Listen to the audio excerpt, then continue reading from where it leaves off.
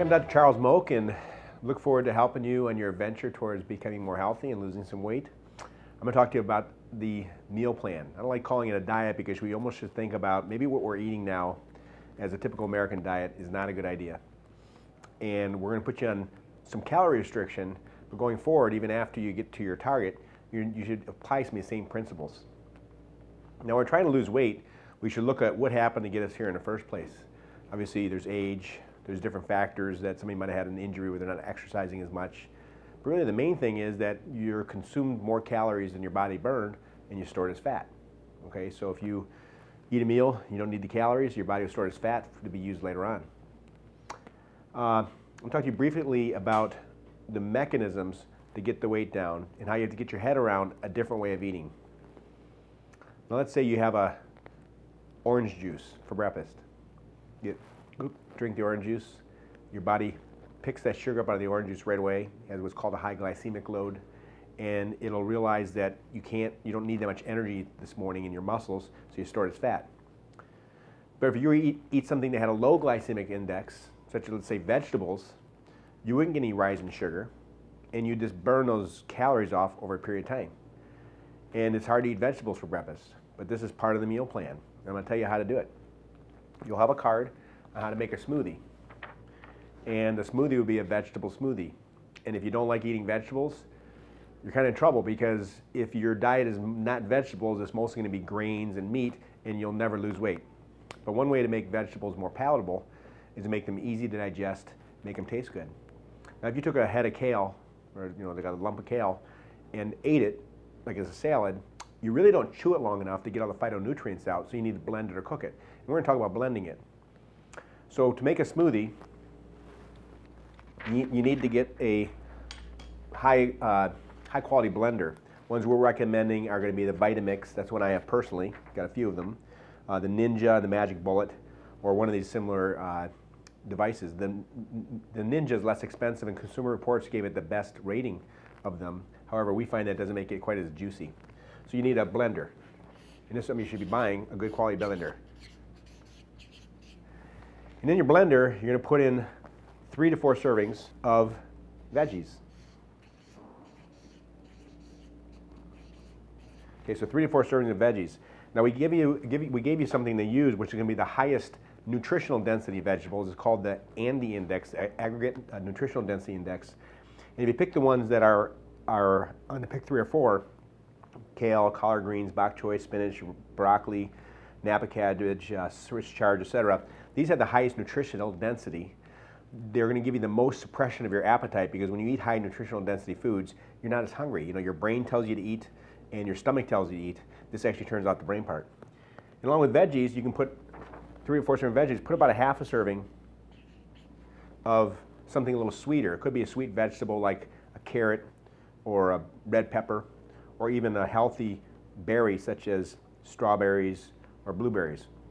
Tomatoes are technically berries, but we call them, let's say we call them vegetables. So something a little bit sweeter if you need it. You don't necessarily, if you don't need the sweetness, don't do it, but you might experiment. You might find that if you eat just the green vegetables, it might taste a little bit like grass. So if you add some sweet vegetable to it, or berries, it'll taste better. But keep a small amount because we don't want sugar. This part of the diet is cutting out the sugars. And you should do, have that about twice a day. And you need to do a little experimenting with how much water to put into it. But you should imagine filling up an eight ounce glass that's kind of liquidy. If you make it too thick, it's unpleasant to eat or drink. And that's the only thing you should be drinking during the day other than water or water with uh, tea or something like that. Uh, diet pops and stuff like that would be okay in this diet, but I don't recommend them because they do uh, drive hunger. What about for your meals? Well, again, if you're going to lose weight, a paradigm shift is necessary in your eating.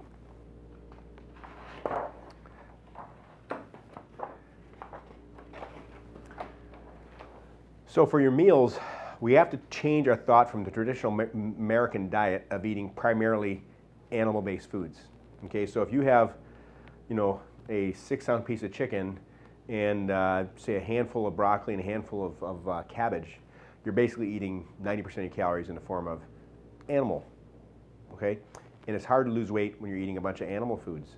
And I know there was a big trend towards the Atkins diet, where people would eat this heavy oils and creams and animal meats. Well, look what happens with that. it works short time and it fails long term, and it's certainly not healthy.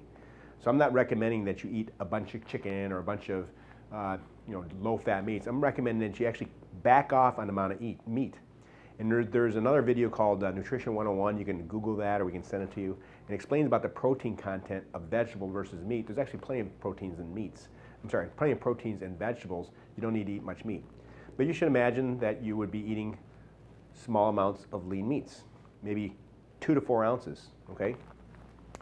Two to four ounces of lean meat. Now, what are lean meats? Well, chicken with the skin on it is clearly not lean. You're probably going to fry it. Chicken that is just a chicken breast that's broiled is lean. Okay, so we'll say chicken breast. We'll call white meat chicken breast is leaner than dark meat chicken breast. Okay, so that's that's lean meat. Uh, what about beef? You like to eat beef? Well, there is one lean beef. It's actually an extremely lean beef. It is called the Piedmontese.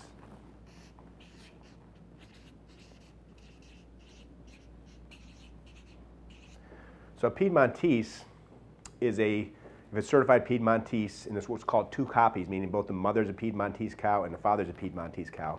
These are cows that are based, that actually came from northern Italy. Uh, they have less fat than skinless chicken breast and more omega-3 fats, which is the healthy fat, than Atlantic grade salmon. So actually that's a good beef that you could eat, but you need to get it from the right place. The place locally has it is called Monty's.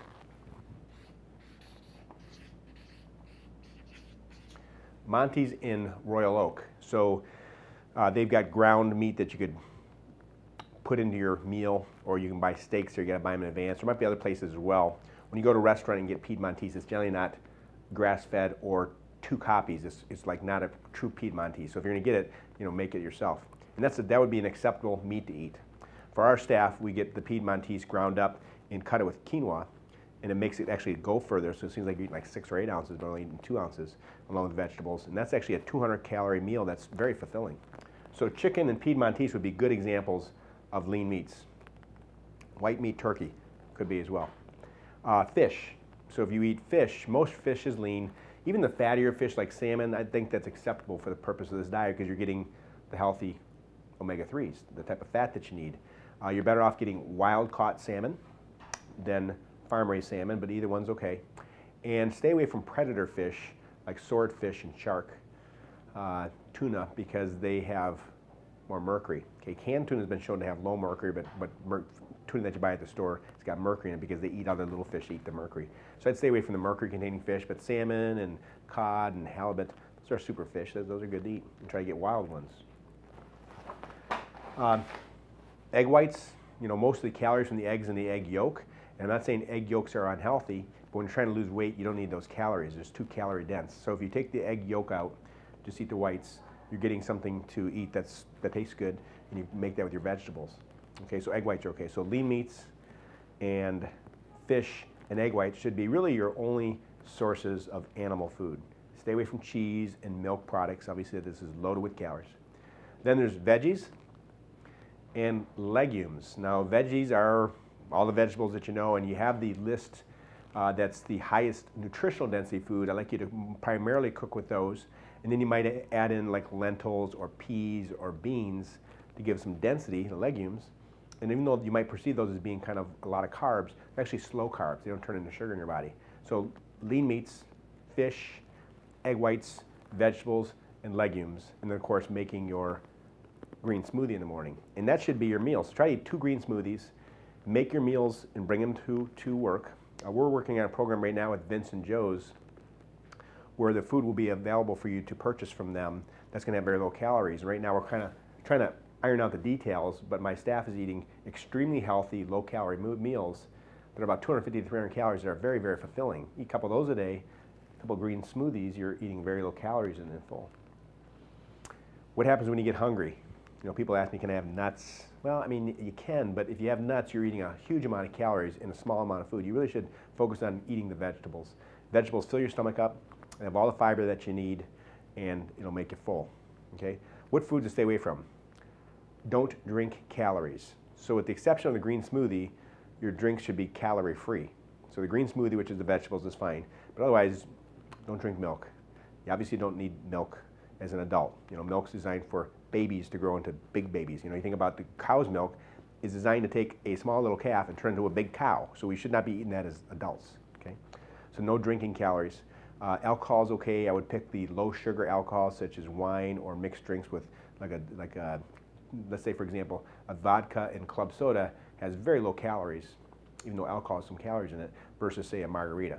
Okay, so drinking is okay, but I do it in moderation uh, and do it maybe more with meals. Uh, don't drink calories otherwise.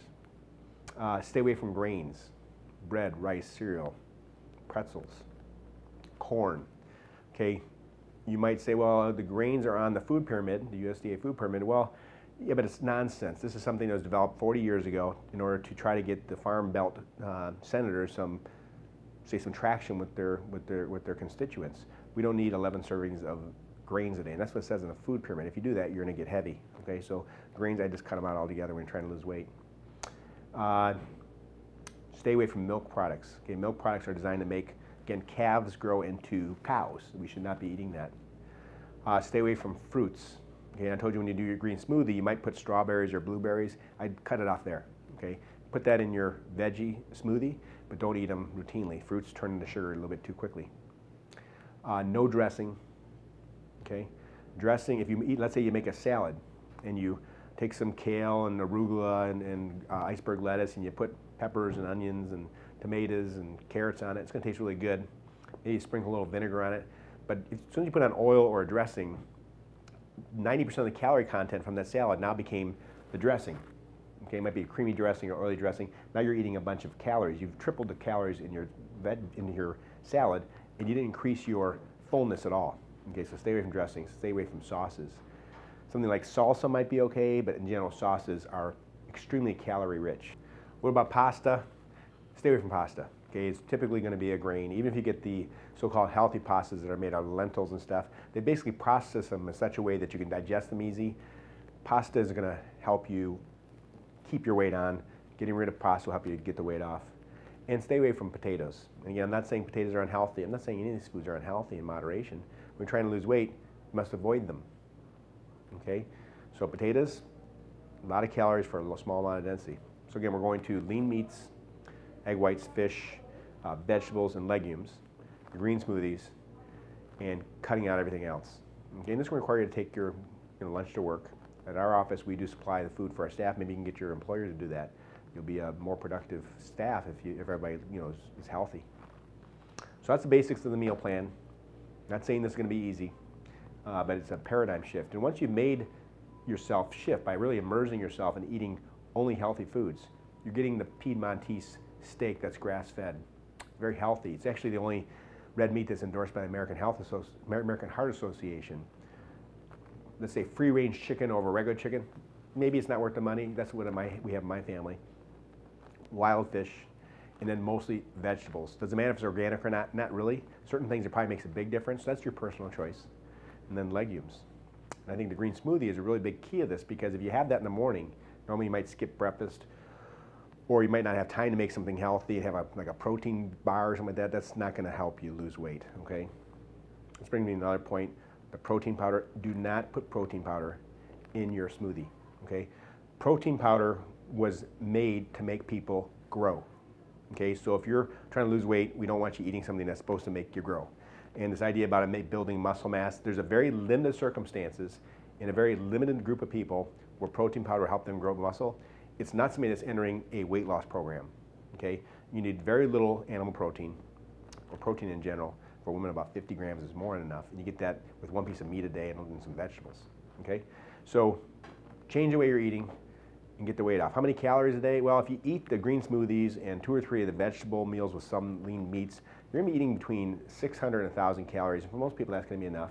If your weight loss is going slower, you might back off on the, on the portion size and back off on the frequency of meals. But in general, I think you should be increasing the vegetables and decreasing the meat and looking at the foods that you're eating that you might be, you know, cheating. Okay, and that's going to be the reason that you're you're stumbling. Okay, so healthy foods. What about when you go out for dinner?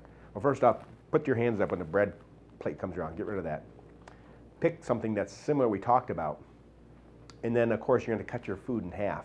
So they're going to bring you, let's say, chicken breast, get it without the skin. Try to get it just broiled. Maybe cut it in half and throw half of it away or give it to your significant other. and then order vegetables steamed because normally they're going to saute them and that's going to be more fattening. Uh, what about cheating? You know, cheating periodically is okay, but you really have to restrict it to there's a wedding or there's an event at your family's you know, picnic or something like this. When you're cheating, you're going to be eating foods that maybe not on these, this list. You can't make a smoothie there, but you still should really focus on finding the things in that food line that are the most acceptable. And that's a diet plan. You take that along with the supplements that we're giving you, along with the injections that you're getting, you will definitely lose weight. It's impossible not to. Thank you very much.